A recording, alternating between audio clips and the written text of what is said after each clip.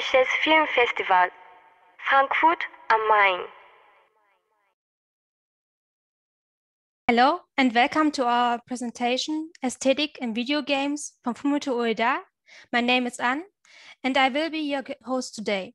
Me and my co-host Kenzo are team member of the Nippon Culture team and we are looking forward to your eager participation. Before we start, please note that this presentation will be recorded.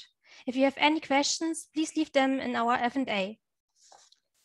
Now I welcome our guest and speaker, Ms. Matthias from Museum Berlin. Matthias, please take it away. Thank you, Anne, and thank you to the whole team of Nippon Connection. Uh, and welcome, dear visitors and participants and audience. Uh, welcome to the aesthetics and the design of the games of Fumito Ueda. Uh, in my opinion, one of the most unique uh, video game designers of today. Um, as Anne said, I am Matthias Oborski, the exhibition director of the Computerspiele Museum, the computer games museum in Berlin. Thank you for being here. So before we begin, a few reminders. I'm going to show you some pre-recorded video clips um, from the original games. And please bear in mind that some of those clips were taken from the old PlayStation 2 versions. That means low resolution, pixelated look, washed out textures, right? So it's not only the fault of Zoom or the crappy German internet, it's um, just the way it was back then. So if you haven't played these games and you still want to, um, hopefully after this lecture, um, there will be small spoilers, but I won't focus on the uh, story or the puzzles, and I don't give away the endings, I think. Um, feel free to ask questions in the Q&A here in Zoom. I um, plan to make a small pause in the middle and take a quick look at them. And then again, of course, at the end. Okay, the three games we are talking about today are Ico from 2001, Shadow of the Colossus from 2006, and The Last Guardian 2016. I don't have that in physical form anymore. Um, before we jump into the aesthetics, let me give you a short summary and a synopsis of these games um, in case you've never heard of them or you've never played them, just to give you some kind of reference, right? Okay. In all three games, you play a young boy. Um, in Shadow of the Colossus, it's more like a young adolescent, a young man. All three games take place in a fantasy setting um, that could be the same world because the architecture, the clothes, and the environment looks kind of similar between the three games. Um, in all three games, there's very little dialogue, and that is in a fictional language as well. Ico, right here. Um, Ico is the name of a young protagonist in the game Ico. Um, he's a boy born with horns on his head who's taken to an abandoned castle by a group of men. And they lock him in a stone coffin as a sacrifice and to protect their village, they say. Uh, presumably, his horns are considered a curse. And after a small earthquake, he can escape the coffin. And in this huge, gigantic, abandoned castle, he finds a girl named Yorda. She doesn't speak his language and she's not really human. She's somewhat ghost like. And together they have to escape the castle. So that's more or less the story of Ico. In Shadow, we play a young man called Wanda who travels by horse to the so-called Forbidden Land, as a mysterious narrator explains to us. And Wanda carries the corpse of a girl with him called Mono, and he wants to resurrect her body. Apparently, there's some kind of supernatural being or god or demon in this forbidden land who can revive the dead. Um, this being is called Dormin. And Dormin agrees to revive the girl, but only after Wanda has destroyed and slain 16 gigantic colossi. Um, is, is, the plural of colossus colossi or colossi? I, I stick with colossi, okay. The Last Guardian combines elements from Ico and Shadow. Again, there's a young boy in a gigantic ruined castle who doesn't really know where he is. And um, there's a massive creature like in Shadow, but this time this creature is on our side. Well, sort of. Um, at the beginning, this creature called Trico is quite hostile because it has been treated very badly. Um, part of the game is to get Trico to trust you and to help and um, and so that he can help you remove obstacles and stuff and fight enemies or fly you to hard to reach platforms. So uh, those are the three games we're talking about. In all three games, one of the key gameplay elements is the relationship between the protagonist and um, the uh, individual, uh, the another individual, uh, Yorda and Ico, the horse Agro and the Colossi in Shadow of the Colossus, and Trico and the Last Guardian. It is not possible to progress in the games without interacting with these individuals. You have to interact with them. So I won't go into the details of what you actually have to do while playing the games, um, except like right now.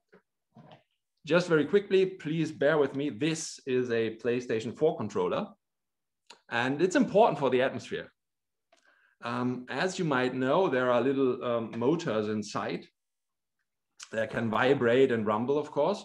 Um, and all games take advantage of this, but it's special in the games of Ueda-san because you can feel your counterpart moving through it, resisting, fighting back, moving, and stuff like that. So it's not just like driving a car or an explosion like in other games, it's a living being at the other end, a simulated living being. Okay. And uh, you can't see that in the video clip. So that's why I'm telling you this. Um, another thing that's important in, well, it depends on your game version and then how you set up the controls. But in the original, in the classical original, you have to hold one of these buttons all the time if you want to hold the hand of Yorda, for example. And if you want to cling to the fur of the Colossi. And um, this thing rumbles as hell if you climb on the Colossi.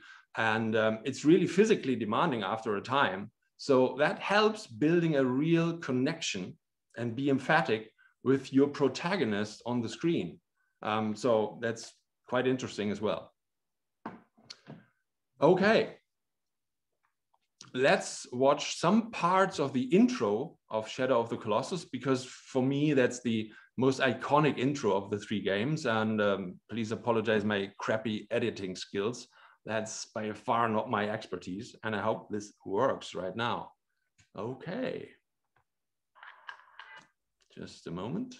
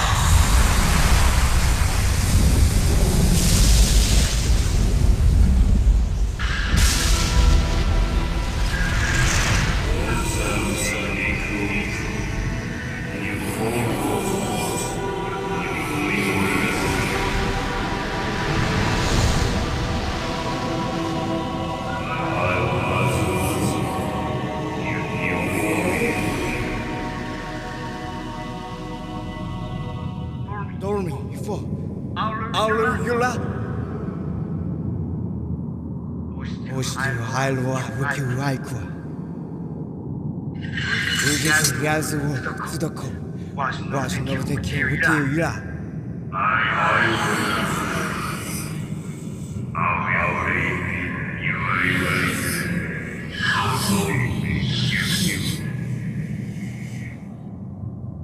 Is the Kyoku. It was all the Iweriko. It's not all amusement.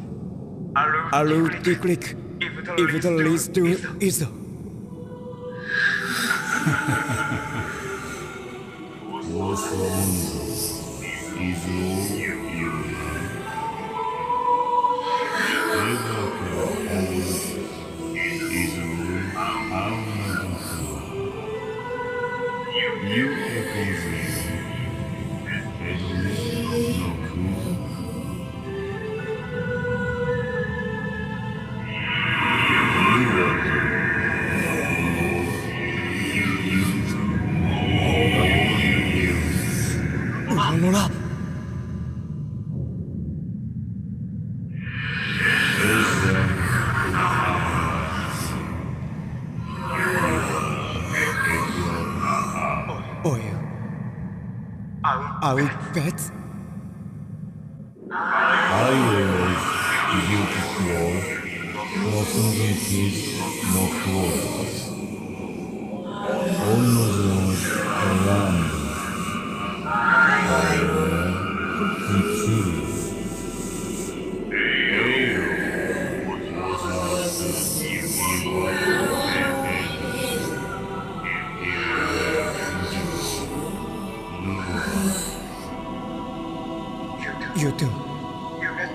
怎么的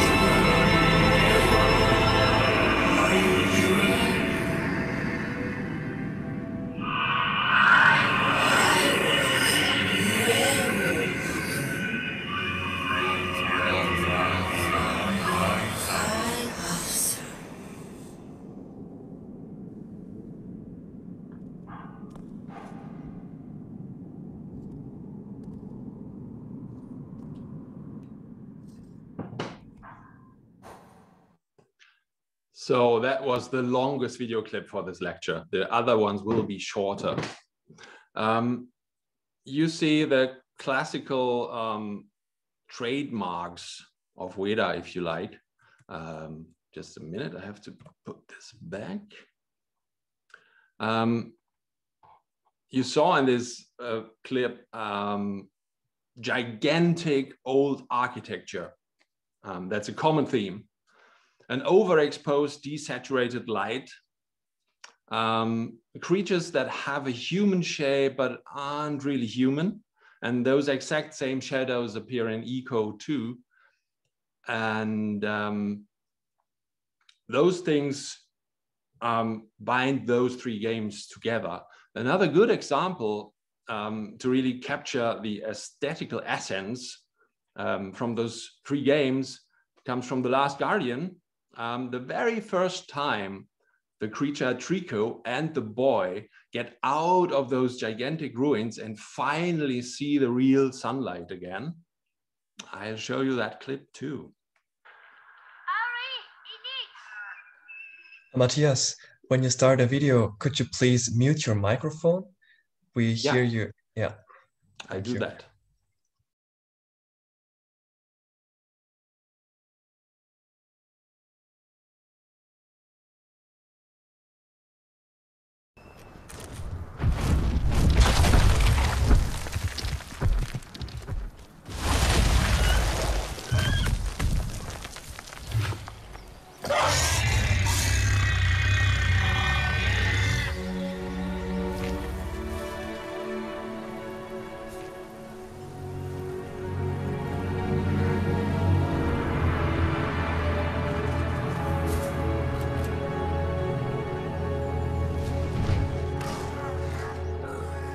Tizi, Otetara Lastuzi, Ala Castacaro, Inokia, Atadu Roku Tuzi, Yanomot Katunek, Aokuzi.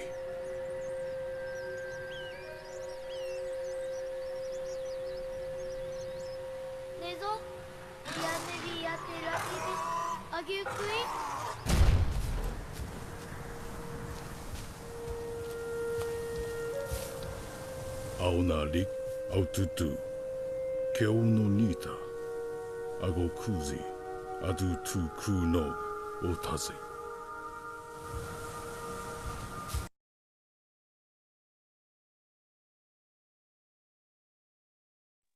So that was a portion of The Last Guardian. And as you can see, um, they have a similar look, although they're more than 10 years um, apart from another.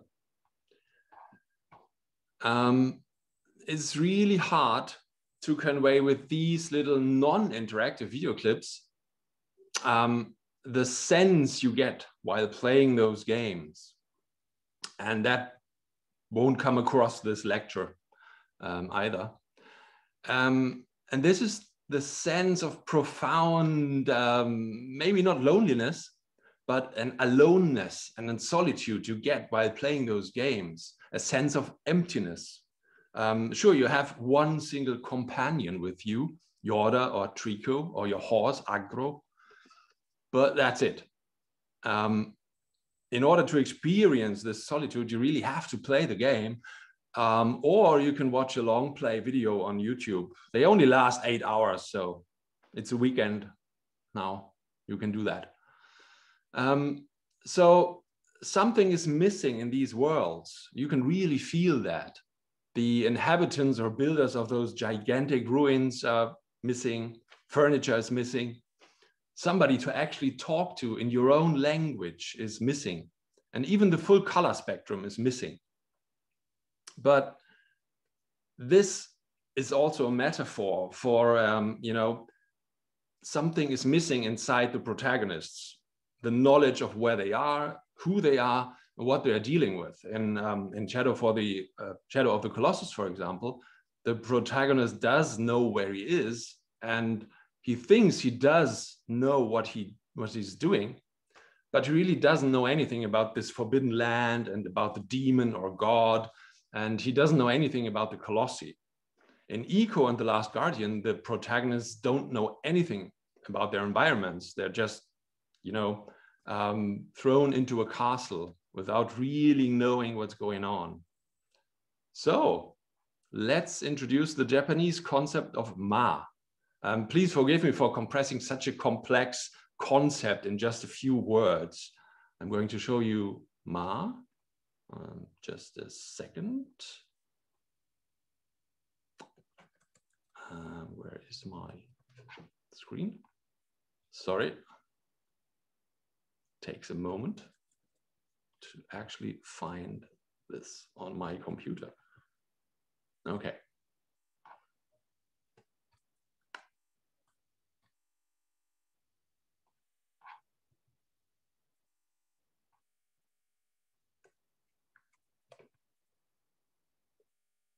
So this is Ma. I hope you can see it.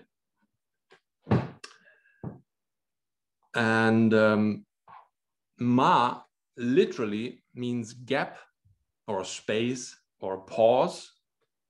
It can refer to an interpretation of an empty space. that's equally important as the actual object of an art piece, for example. So sometimes ma is used to refer to literal empty space where there's nothing. And sometimes it can refer to a perceived emptiness. Um, so this is a cup, right, with Yuri Gagarin. And um, it's a physical object. Um, but the very idea of the cup, um, the whole purpose of the cup is the emptiness inside the cup. Without this emptiness, a cup wouldn't really be a cup. Um, so that's Ma. And the emptiness between two notes while playing music is Ma too. And one of the earliest examples of Ma in classical Japanese painting is this one. Um, I have to fill with the controls again.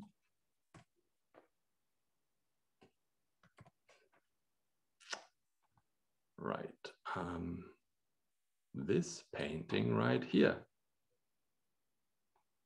It's from the late 16th century. And um, as you can see, you can't see much, at least with European eyes, right? Um, you see some pine trees and um, other than that, uh, there's quite something, some bits of empty space just around the pine trees. And um, this emptiness actually enhances the effect the pine trees have on the viewers. And I think that absence of objects is essential in the aesthetics of Ueda-san, um, not only in the world building, but also in the technical aspects of game design. For example, you don't really have an interface that displays information, you don't have an inventory like in so many other games. And some articles call this design by sub subtraction. Take everything away that is not vital, right? Um, so let's look sometime, let's take us some time to look for Ma in the next clip from Shadow of the Colossus. Just a little bit of context here if you have slain one of those colossi, you fall in some sort of coma and you wake up in the temple next to the dead body of Mono. And then you have to get to the next colossus. But that can take quite some time riding through an almost empty landscape. So let's look for Ma in this video clip.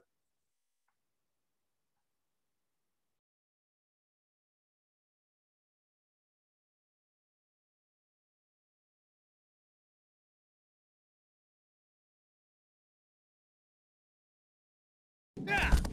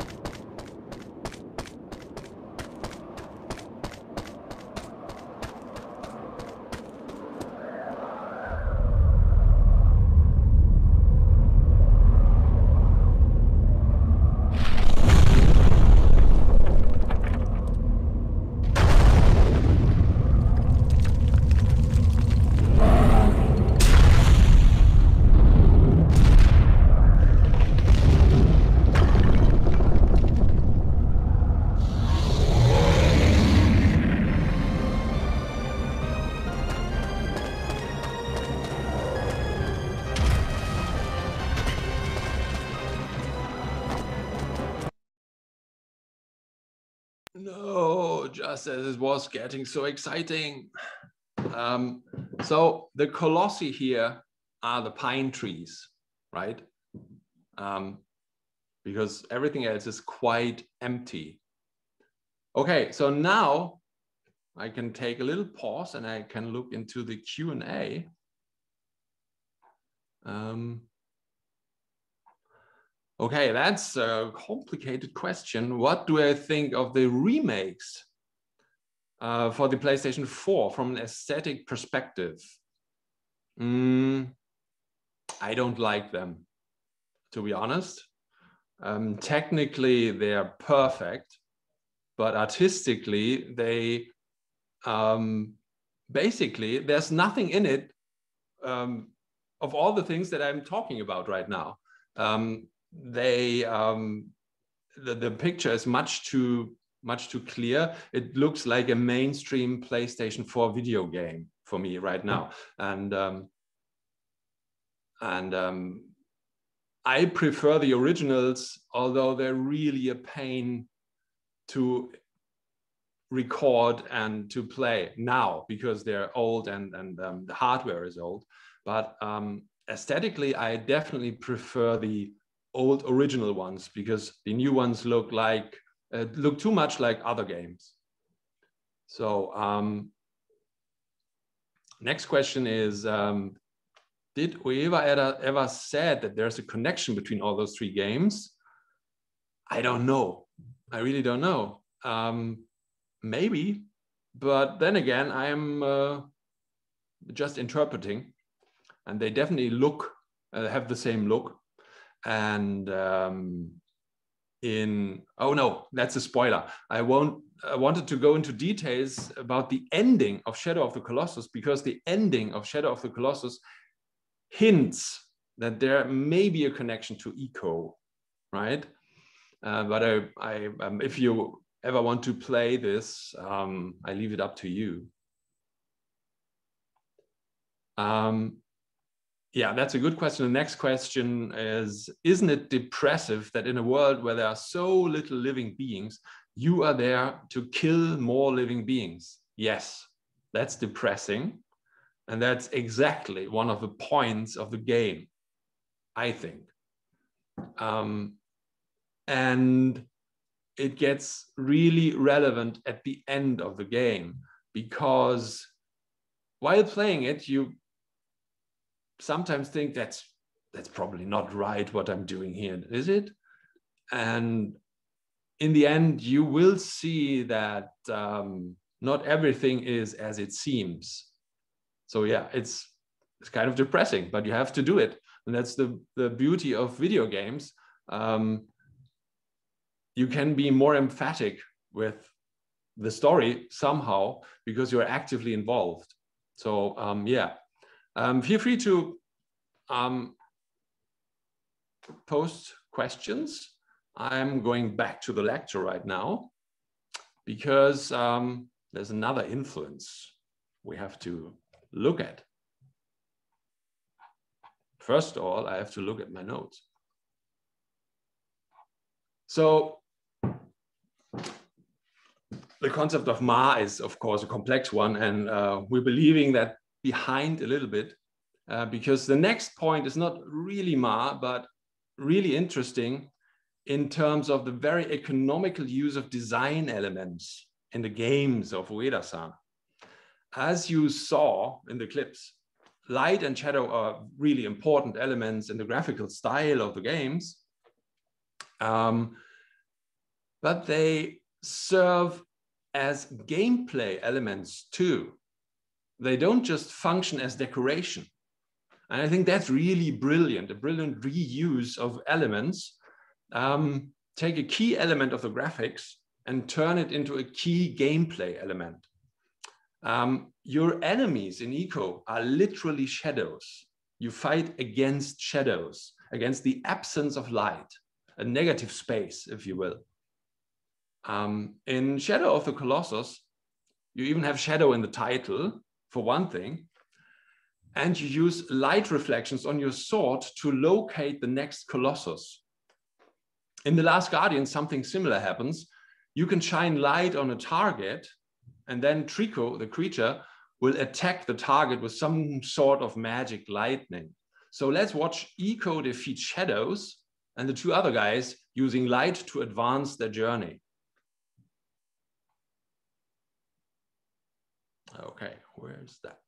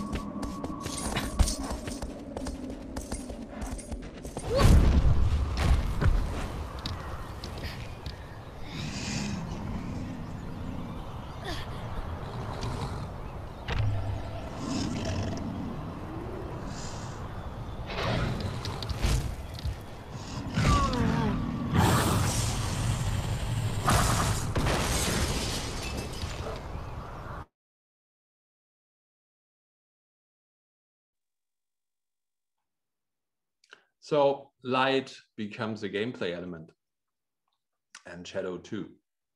And that's how to be economical with your design. So I, I've hinted that there are other influences, of course, uh, not only Japanese influences in Ueda's game. One definite influence on the graphics design is Italian painter Giorgio de Chirico. It may not obviously, um, it may not be immediately obvious in the actual games, but definitely on the cover of Ico. And um, I'll show you why.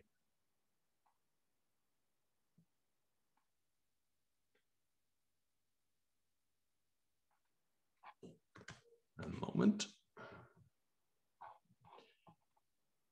So just no, that was the wrong thing. I only work with computers for a living, so I don't know anything about computers. That's it.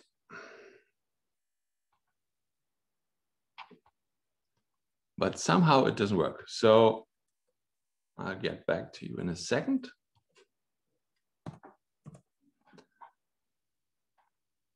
The cover of Ico um, is almost exactly like a painting of um, Giorgio de Chirico. And now I have the right thing here. I hope. I don't know if you can see this. Right. So on the left, you have the cover of Ico. And on the right, you have uh, Giorgio de Chirico. And I guess you can all see the um, similarities. Um, let's look at some other paintings of De Chirico.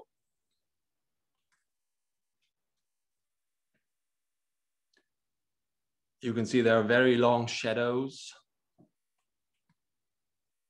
and uh, some kind of surreal atmosphere.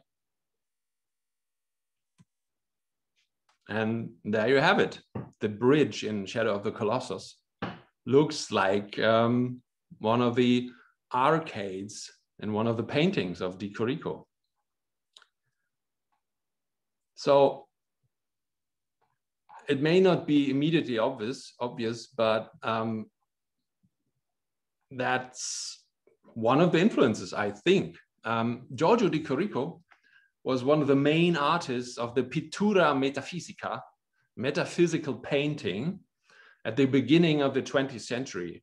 Um, aspects of metaphysical paintings are somewhat disquieting images um, of deserted squares um, with only tiny figures, if any. So usually town squares are full of life, but not in those paintings. And the paintings are often bordered by steeply receding arcades with harsh shadow, shadows. And um, Wikipedia says the effect was to produce a sense of dislocation in time and space. And that's exactly what you get in the games of Ueda-san, a sense of dislocation in time and space. The ruins look like they've been there forever, although clearly designed by someone some time. But the specific time is really unknown. And the place where those ruins are, are um, you know, they're almost as foreign to the protagonist as to us. They don't really know what's going on there. Um, so definitely, definitely, definitely um, another influence. The last point of this lecture is the design of the gigantic creatures. Um, there aren't any gigantic creatures in Ico, so let's focus on Shadow of the Colossus and The Last Guardian. Um, if you play these games, you will see this immediately. The protagonists, the, the boy and the young man, are designed not to have a fully featured human face. They look like, um, well, not cartoonish, but they look simplified.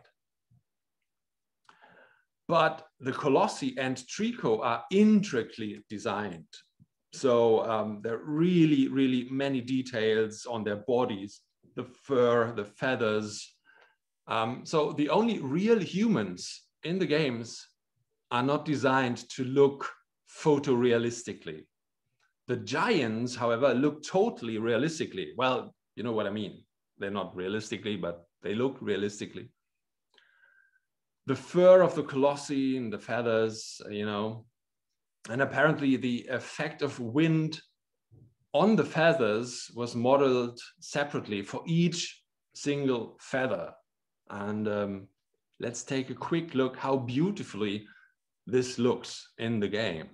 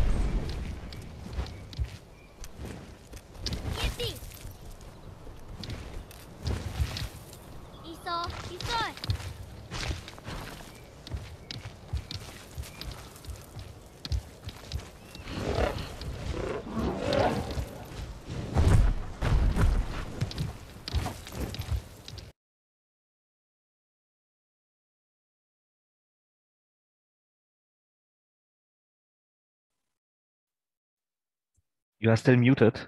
It's muted.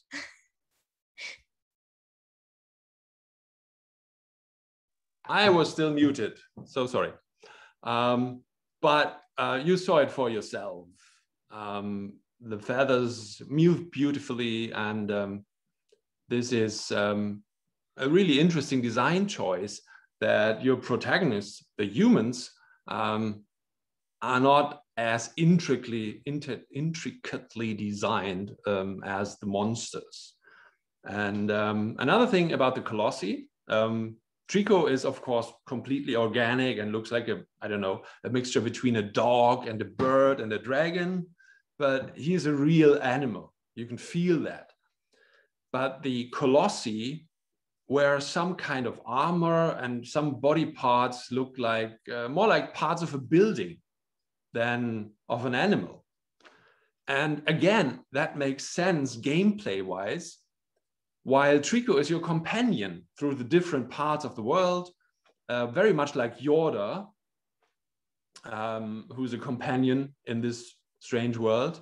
The Colossi, um, they are like levels in the game.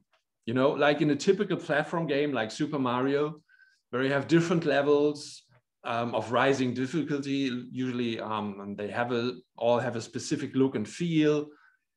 Um, and often in those games, you have to learn the levels by heart in order to get to the end. And you die a lot while, you know, playing it. And the Colossi are designed that way too. They are levels like in a platform game. Like, um, and they feature uh, platforms, really actual platforms. And um, they feature special areas where you can rest and um, they have usually one best way to beat them. And um, I can show you this um, with the very first Colossus in the game. Um, it really looks like a platform level, right?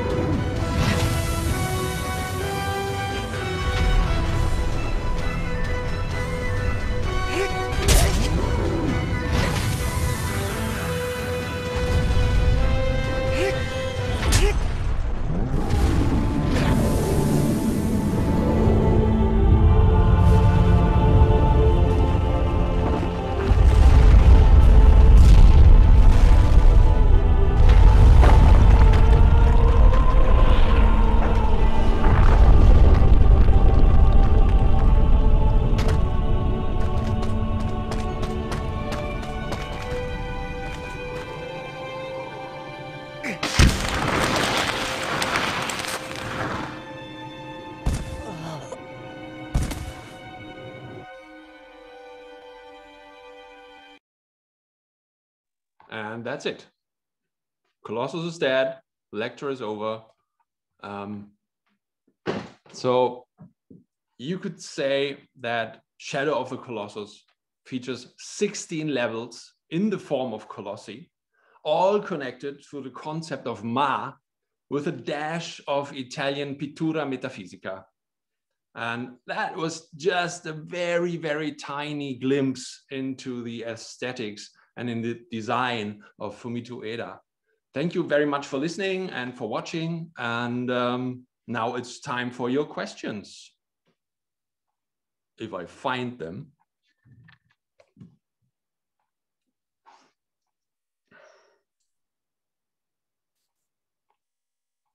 Okay, Andy asks, how do you like the Souls games, Dark Souls, I suppose, from an aesthetic perspective? Yeah, is it possible to have a lecture about them next year? Maybe. Uh, I know the person right for it because uh, I'm not a Dark Souls person. I do love the aesthetics, they are great. But in order to advance the story, you have to die so many times that I gave up. I have to admit it. I'm not a pro gamer. I uh, I do that. uh, I just want to relax sometimes. And Dark Souls, the Dark Souls games are so very hard, but um, I do like the aesthetics very much. They're, um, I think um, the most astounding games we have today, at least in the you know in this um, big AAA world. Um, so yeah, Dark Souls. Um, I will ask the person. I know, uh, but for me, um, I'm probably not the right guy for that. So Christian asks, can you tell us something about the music and background sounds inspiration? Um, I cannot because I just focus on the graphics design. Um, what I can tell you is that the music is used very, very, very rarely, almost only then if there's a fight going on or, or there's a key point in the story. Um, other than that, there's just the you know ambient sound of the environment. Um, you have um, in the ruins, you have you know um, torches crackling. Uh, and in the nature, you have um, sounds of nature. Not so many animals because it's a very empty world, but um, there are some birds flying around. Um, but I don't have enough background information to really um, say a lot about the, the production of the music and the production of the background noises. So I'm sorry. Sven asks, um, do I think if the black liquid in the colossi is identical with the shadows in Ico? So shadow equals life. Um, interesting question, really interesting. I mean, the, the, the black liquid, the black fluid and shadow of the Colossus is well, if you advance the story, in the end, it becomes clear that it's, I think, somewhat demonic. And um, it's not really life. Um, and the shadows in Ico are kind of demons. Um, interesting. Um, you could make a connection because as, as I remember at the very end of Shadow of the Colossus, um, those human shadow shadowy figures appear again and um, they take over your protagonist more or less um, so maybe the shadows are not life, but the opposite of life, but not really dead, uh, not really death. Um, I don't know. I, I don't think the black liquid and the uh, shadows in Ico are closely connected because in, in the in shadow it's it's clearly some kind of some manifestation of the demon in this forbidden land and in Ico they're more of a manifestation of the of the queen that resides in the castle. So it looks the same, but I don't think they're connected. Um, is there a cor correlation between the names Ico and Chirico? Or is that just a coincidence? I don't know. I can't answer you that question. Karim asks, are there any other games you know that are directly influenced by Ueda's games? Um, well, one comes to mind. It's an indie game. It's called um, The Brothers, The Tale of Two Brothers. Um, I can't remember the exact name.